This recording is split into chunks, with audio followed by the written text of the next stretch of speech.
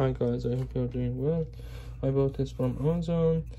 As you can see it's include two c port and two usb-c here for the usb-c again for the port. And i'm not sure it's for charging because i will buy my surface next week two weeks.